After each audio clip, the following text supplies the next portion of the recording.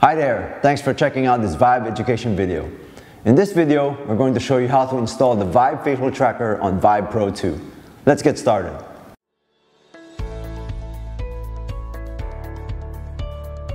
With Vive Facial Tracker, bring true-to-life facial expressions and mouth movements into VR.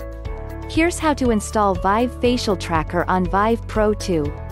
First, remove the face cushion from the Vive Pro 2 headset.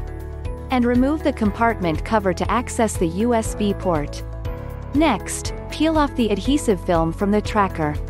Then, center the tracker on the bottom side of the headset and attach it. Press and hold the lens adjustment button. Then, slide the front of the headset outward.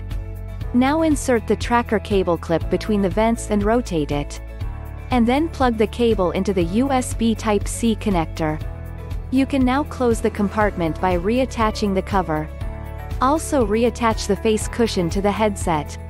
To secure the tracker in place, make sure the hinge is flat and flush with the edge of the tracker and tighten the screw. Finally, download and install the tracker software from the above URL, and then connect Vive Pro 2 to your computer. You're all set. Enjoy using Vive Facial Tracker in Vive Sync, which is HTC's all-in-one meeting and collaboration solution for VR. Another software that supports Vive Facial Tracker is Neos VR. If you have this game software, have fun with the many facial and mouth movements transposed into VR.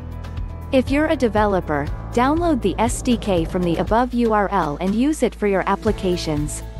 The SDK has support for Unity and Unreal Engine. Hi again, thanks for watching. We hope you found this video helpful. If you want to learn more about Vive Facial Tracker or other Vive products, make sure to check out the other videos in this channel. I'll see you next time.